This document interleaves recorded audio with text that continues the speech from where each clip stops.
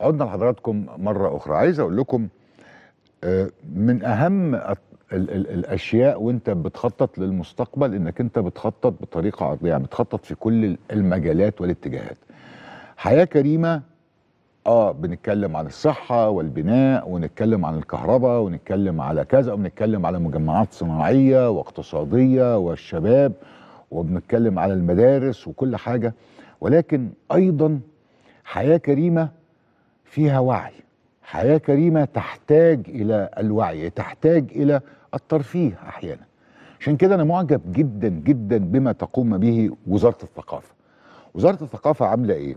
وزارة الثقافة عملت مرحلة أولى وداخلة النهاردة بمخطط لمرحلة تانية. مرحلة تانية للمشاركة في حياة كريمة. عاملين 1174 نشاط. عاملين جدول كده في 106 قرية في سبع محافظات هيتحركوا فيهم بأنشطة كثيرة جدا. ولكن هنعرف بقى تفاصيل إيه الأنشطة دي؟ مين المستهدف من الأنشطة دي؟ مين اللي هيقدمها؟ إيه الفرق اللي هتروح على الهاتف الدكتورة الفنانة الكبيرة إيناس عبد الدايم وزيرة الثقافة؟ مساء الخير معالي الوزيرة مساء الخير أستاذ شرقي ازي حضرتك؟ الحمد لله. وأنا اولا يعني مبسوط قوي قوي بوصولكم للقرى. يعني أمنية يعني بدأت تتحقق وشفناها في المرحلة الأولى وبنشوفها في المرحلة الثانية بس قولي لي أنتوا مخططين إزاي؟ وايه هي القرى اللي أنتوا ناويين تروحوا لها أو المحافظات اللي أنتوا ناويين تروحوا لها؟ إحنا طبعا بدأنا بالفعل المرحلة الأولى. بدأناها في شهر مايو وحتى وقتنا هذا ولكن آه، حاليا اعدنا خلاص الخطة وبنبدأها بإذن الله آه، في خلال 48 ساعة القادمين. يعني بدأنا فيها بالفعل. آه، إحنا مخططين طبعا الحقيقة هذه المرحلة حتى بإذن الله فبراير 22 آه، يمكن توسعنا بقى بشكل آه، أكبر الحقيقة بالنسبة للخطة بتاعتنا لأن درسنا يعني عملنا دراسات كتيرة جدا جدا وبنواكب طبعا بنحاول نواكب السرعه اللي بتتم في هذا المشروع العظيم آه، لفخامة الرئيس. آه، بنتحرك ب 1174 نشاط في 106 قرية بسبع محافظات. المحافظات هي إن شاء الله هتكون أسيوط، كفر الشيخ، قنا، الفيوم، الإسماعيلية، الشرقية، البحيرة. كويس جدا. الحقيقة آه الحقيقة يعني إحنا طبعا آه، كنا مستهدفين القرى من فترة طويلة جدا ولكن هذه المبادرة العظيمة ساعدتنا بشكل كبير وأوسع وسريع إن إحنا نقدر نتحرك. فبالفعل بدأنا نتحرك بمجموعة أنشطة فكرية ومعرفية وثقافية متعددة ومتنوعة. طب خليني أوقف أوقف حضرتك بعد إذنك هنا. اتفضل يا فندم. هذه الأنشطة هتقدموها فين؟ يعني حضرتك هتروحي للقرية ولا عايزة أهل القرية يجوا لك المركز ولا يجوا لك كده لا، ولا هتروحي هنروح للقرى. لا هنروح. للقرى يا فندم. هنروح للقرى وده طبعا آه، تم تنسيقه مع السادة المحافظين ومعالي وزير التنمية المحلية والشباب والرياضة والتعليم. آه يعني هتروحوا مراكز الشباب أو في المدارس اللي اتبنت جديدة لو في الميادين يا فندم لأن طبعا إحنا كنا بدأنا خطوة هامة جدا جدا من خلال المسارح المتجولة. فدي طبعا ساعدتنا بشكل كبير جدا للتحرك وإن إحنا نقدر نوضع هذه الاستراتيجية للحراك فيها. آه، من خلال هذه المسارح المتنقلة أو الم- المسرح التجوال يعني الحقيقة بنقدر نقدم كل أشكال الفنون اللي إحنا آه، والاستراتيجية اللي موضوعة. هتكون طبعا فيها عروض موسيقية للأطفال وللشباب وللكبار. وعروض مسرحية وورش فنية وأدبية وفكرية وأنشطة لاكتشاف المواهب وده كان طيب يعني إيه؟ طيب يعني حضرتك هتروحي تقعدي في قرية كذا يوم نقعد كذا يوم يا فندم وفي بعض لو في في بعض القرى اللي يكون فيها صعوبة الحقيقة نسقنا مع وزارة النقل أيضا إن إحنا ننقلهم ونجيبهم لأقرب مركز ممكن يكون موجود ويكون عندنا فيه المكان بتاعنا فبالفعل اتحدد اتحددت الخريطة على هذا الأساس بعد دراسة طبعا. كويس جدا. ولاحظت أيضا إن أنتوا عاملين ورش للحرف اليدوية والتراثية. بالظبط. بالظبط احكي لي بقى على المنطقة دي لأن دي منطقة مهمة قوي أنتوا عاملين حاجتين مهمين. الأولى هي اكتشاف المواهب. عايز عايز أعرف بالظبط. مين اللي رايح من وزارة الثقافة وبتدوروا على إيه؟ كل وزارة الثقافة كل وزارة الثقافة يعني الأوبرا آه، موجودة.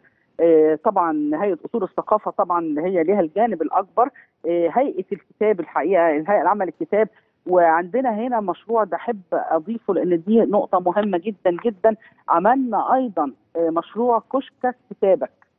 آه، هذا المشروع بيستهدف إن إحنا بنوفر من خلال هذا الكشك هيكون موجود. ودرسنا بالفعل وبدأنا بالتنفيذ الاماكن اللي هي- هيوضع فيها. دي هتكون آه، ثابتة. هذا الكشك هيكون ثابت في في القرى. آه، عبارة عن مكتبة.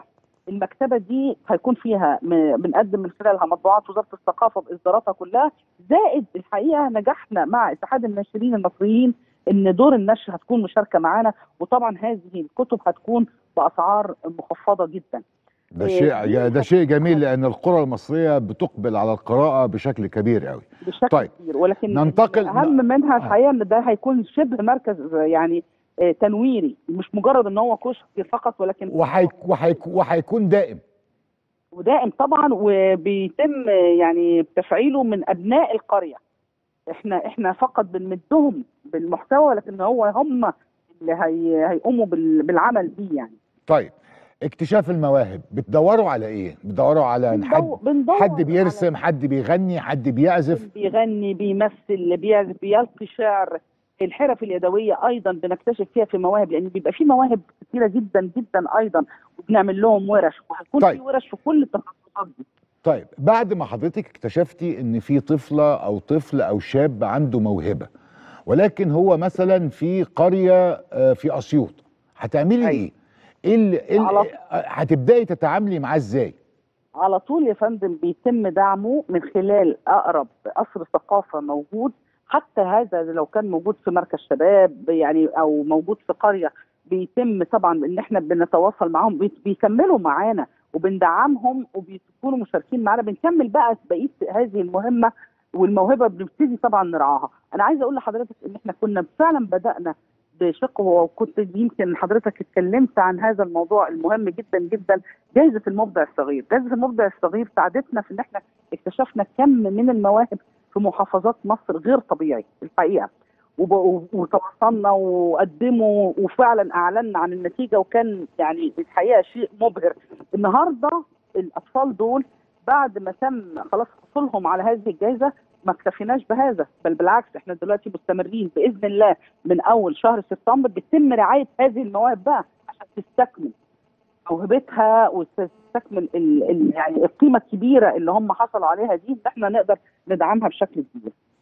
تمام جدا فبالتالي ده اللي هيحصل طبعا مع نفس الأطفال يعني هو ده ده ده الدور المهم مجرد إن إحنا هنكتشف آه، مواهب طيب. فقط يعني. العروض المسرحية وانتقال العروض المسرحية أنا عارف طبعا اللي أنتوا عملتوه ونزلتوا للناس بعروض مسرحية في الشارع و اخره بس قد يكون المسرح التجريبي أو العروض بتاعة المسرح في في الشارع مش قريبة قوي من أهلنا في الريف. هل عكس فندم تم طبعا وضع خطة خاصة جدا آه، وبعدين على فكرة إحنا بنطلع كل العروض وعايزه أقول لحضرتك. أيوه يعني في عروض كبيرة هتنزل للأقاليم. آه طبعا وبالفعل نزلت يا فندم. كويس. بالفعل آه، عروض كبيرة بفنانين كبار. والشيء الرائع الجميل إن الفنانين يعني قد إيه آه، حالة الترحاب والسعادة اللي هم فيها في مشاركتهم في هذه المبادرة إحنا بالفعل يعني أنا بكلم حضرتك دلوقتي وبالفعل عندنا. المسرح التجوال شغال في أكثر من قرية يعني فعلا. وبعدين وده طبعا إحنا الحقيقة إحنا ما كناش ممكن نحقق ده إلا إن جهات وزارة الثقافة إنها كلها تتعاون مع بعض وده اللي إحنا بنعمله دلوقتي منظومة واحدة عشان نقدر نحقق ده. يعني لازم نتحرك بمسارح آه، متجولة. نقدر نتنقل بيها. نقعد ثلاث ليالي مثلا أو أربع ليالي في قرية معينة. بعد كده بيتنقل العربية أو المسرح ده بينتقل لمكان تاني.